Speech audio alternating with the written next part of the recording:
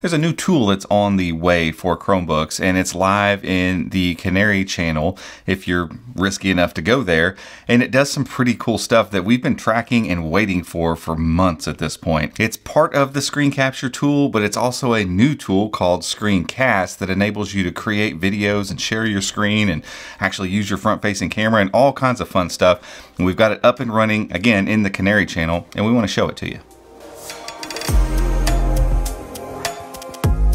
But before we get into that, today's video is brought to you by Penoval. Penoval makes fantastic USI pens for Chromebooks, styluses for iPads and Surface devices, and they're all well built, stylish, and they come with a reasonable price tag too. Their latest model, the USI 702 Chromebook stylus, comes with some really sweet features like USB-C charging, a unique eraser on the end, and a more solid pen tip that really enhances palm rejection. In our time with this pen, it's worked on every single Chromebook we've tried, and the eraser works just as you'd expect in all sorts of apps with no setup needed whatsoever whatsoever. And in addition, they also have the overall most popular stylus on Amazon as well, the Penoval USI 150, that generally goes for less than 50 bucks. If you're interested in picking up one of Penoval's great pens, check out the link in the description to find out more. Okay, so to get this whole thing rolling, first, like always, we're gonna have to turn on some flags.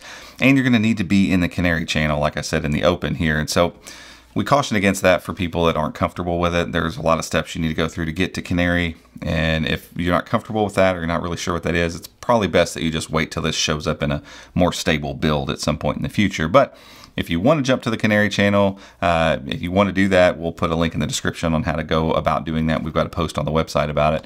Uh, once you're in the Canary channel and you're successfully here, you're going to turn on a couple flags. Same place, Chrome colon forward slash forward slash flags. And this new window will open up and you can see I've already got these enabled. So uh, there are three right here. Enable selfie camera and screen capture enable projector and enable projector annotator. I'll leave that here for just a second so maybe you can screen grab that. I'll write those down real quick but basically go up to the top uh, and you could search those find those exactly turn those flags on. Again you got to be in the canary channel and once you've reset your Chromebook from this point uh, you'll have some new options, uh, both for your screen recorder, the built-in screen recorder that we've had for months and months at this point, but then you're also going to have this new app down here. So I'm going to open up right here. You see Screencast. And so obviously you can search for it too. So Screencast is right there. And when I open it up, right now I can't do a new recording because I'm recording my screen already. And again, these are two parts of the same whole, really. Like the Screencast app is really more meant for creating something that you're going to share to someone else. That you can annotate the screen and you can uh, it's going to upload it automatically. It's a, it's a thing that's meant to share some sort of instruction versus the screen recorder might be meant to just take a quick note or something like that. So they're uh, you know, Google might choose to just kind of combine these at one point. Uh, I'm not really sure, but you'll see here in a minute when we start our new recording in the uh, screencast feature. It looks just like the screen recorder feature, and so um, it's it's nothing uh, different there. So um, one other thing you'll see uh, in the screen recorder is I can move my little uh, head around in all four corners, and I can shrink this down as well. Um, again, depending on how straight up you need to be here as far as like, you know, I, I, need you to see me so that you can see me talking to you about whatever's on screen. You can make this larger or smaller uh, based on your preference. And so there's a couple other things in here before we actually start a screencast that, that I do want to talk about. And so uh, I'm actually going to click feature tour because the first time you open this, you're going to be met with this screen, record your screen and yourself. Um, we can go to next here, get your transcripts automatically. So um, as it says right here, the viewers can search and navigate your video using transcripts. So you can actually go through the video just by the transcript and find your spot. Um, we'll talk about that here in just a second, and then you can collaborate and share instantly. And so uh, these recordings will get uploaded directly to uh, Google Drive. It'll make a new folder called Screencast. They're there uh, immediately. So you can see my recordings down here. I did a quick just trial earlier today. And that recording, uh, at first, as soon as I got done, I couldn't look at it right away uh, it started uploading. And as soon as it was done uploading, it started processing. So just like a normal video you would upload to Drive or YouTube, it does all of those things. And once it's done, I have the ability to share it from here. So I can click share. Uh, let's name this. I'm just going to name this recording one. Uh, we'll continue this. Yep, there it goes. Um, and then copy link. And so this all obviously looks a lot like stuff you do in Google Drive. We're going to keep it private. We're going to share it with others. uh, anyone with LinkedIn access, I copy the link and boom, I can throw that link into a messaging application, into an email, whatever. And the whole screencast that I've just created with annotations that we'll show you here in just a second can all be exported and shown uh, from the cloud. So I'm not having to download something and then share it and upload it back over the email. It's, it's in Drive, shareable just like any other file would be. One other thing you will see here on the screen are a couple of kind of get started tips. And let me mute my device here. As you click them, it's just going to pop up a little video that kind of explains some of what we're talking about in this video. So if you watch this video, you get this enabled, and then you don't get a chance to mess with it, and you go back in there. If you want to kind of remind yourself some of these things, they have some nice quick tutorials. Again, they're going to refer to this thing as projector, even in the tutorials.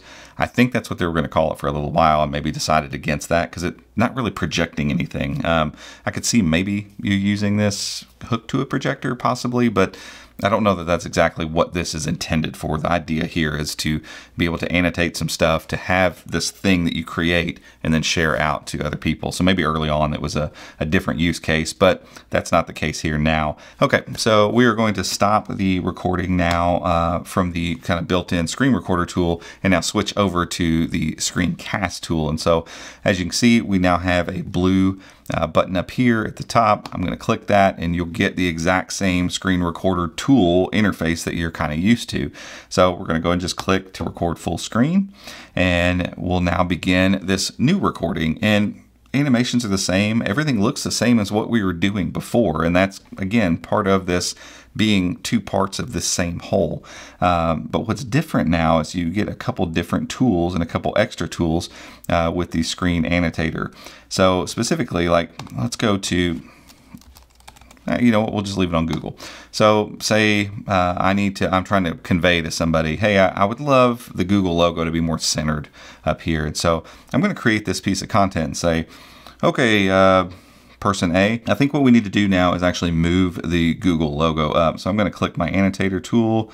If I long press it, I can choose this color here. I'm going to say, okay, what I want is you to take this logo and I want you to move it up. And I'd rather be kind of in, in this vicinity, uh, not necessarily there anymore.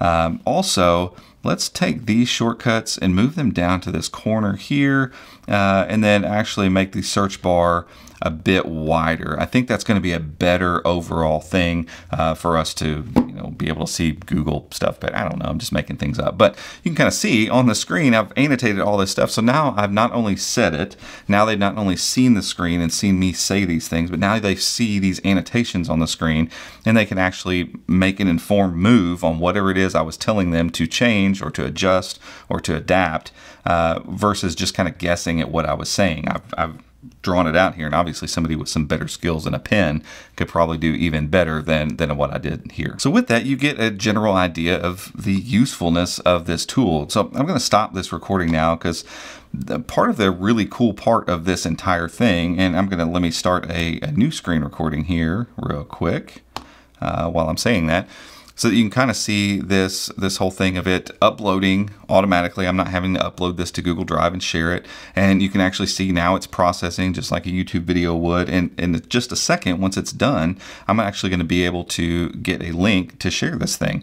And the cool part about this is, and we're going to do this on camera, so I'm hoping it works, is the link that I'm going to get from this, the shareable link, when I open that link up, now I'm going to get that annotation part too. So I'm going to see the video, I'm going to have a kind of video player down here, but I'll see the, the annotation on the right side of the screen, hopefully. It might take a little bit longer, so we may have to pull this up later uh, and add it kind of in post in B-roll. But the idea being, once this gets done processing and I share this thing out, people can take it, look at it, they can watch the video, watch the instruction, watch my face talking, see the annotations all over the screen, but they can actually watch and see all the language on the side and jump to the part in the video that they want to jump to based on the annotated uh, language that I used in the video. And so even if you're in a spot where you can't really hear what's going on, there's just going to be auto captions over there basically that let you get right to the part you need to see uh, and get to the instruction or whatever part of that content that you actually need to get to. Okay, so that shows you the general usability of, you know, the, the screen recording, the screencast options as you're actually, you know, recording stuff and how you can share things.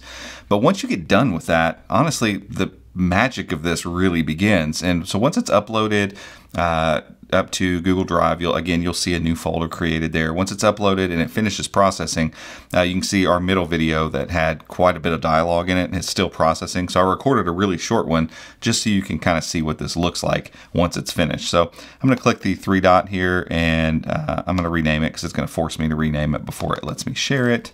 Uh, we're just do recording three. Click that. And now I can click the share button and we'll share it with others. Basically anyone who has the link. So this is a similar, again, sharing uh, dialogue that you would get with Google Docs. And I'm gonna hit copy link. And then I'm gonna actually open up a Chrome browser and show you what the recipient of the thing that you just made is going to see. So they get this whole fully laid out viewing experience here. So you get the video up here at the top. If I click full screen, obviously it goes full screen. Uh, we, we have mute uh, controls and all that kind of stuff. But what I did was just record something really simple, really straightforward, so you can see what other people will see on the web. So over here on the right, you see this transcript. And if I click and I kind of look at what I'm saying here, so we're going to go larger here. So I'm going to click to there and you can see. And if I click into this, it's going to be that spot 22 seconds into the video. The exact spot where I was. And so it's not only got the transcript so I can read it and follow along, I can also just click through and go to that spot in the video. So imagine a 30 minute long presentation where somebody talked about something for five minutes that you really needed to get back to. And you can just kind of go through that transcript, find the spot, click on it, and watch it immediately. I mean, this is insanely useful. And granted, it's still in like beta status here, maybe almost even alpha status. I mean, we're in the Canary channel as it is. But this is really, really useful stuff already built out here. So once this comes to Chromebooks, this is going to be wildly useful for educators, for business people, for uh, if you just need to show a family member how to do something on the web. I mean, there's all sorts of situations where this tool is going to come in really, really handy. So as you can tell, we're super excited about this. We're going to be keeping a close eye on it as it moves from, you know, the Canary channel down to the developer and beta channels and gets in a position where it's going to be a lot easier for you to try out if you want to, you know, give this a run. Uh, you can keep up with all that kind of stuff and all sorts of other Chromebook stuff over at chromeunboxed.com at the website. But that is it for this one. If you like this video, give us a thumbs up, head down there hit that subscribe button, and be sure to ring the notification icon as well if you'd like to be alerted when we make future videos just like this one. Until next time, we'll see you.